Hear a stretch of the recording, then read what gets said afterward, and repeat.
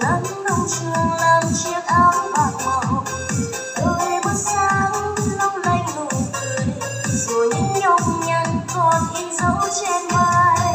Tôi vẫn thấy em như ngày nào, dù nắng đông trường làm chiếc áo bạc màu. Tôi bước sáng long lanh nụ cười, rồi những nhung nhằn còn in dấu trên vai.